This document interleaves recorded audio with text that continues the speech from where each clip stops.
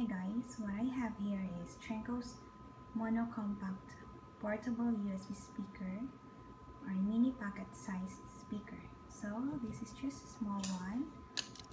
So the size of it is 4.75 inches by 2.25 by 2.25 inches. So this is just small and um, the only thing is that this is very short. This can be connected to the cell phone and this is the USB cable so that you can charge it to the laptop anytime and this is the power button here. So the battery also here is small like the cell phone's battery.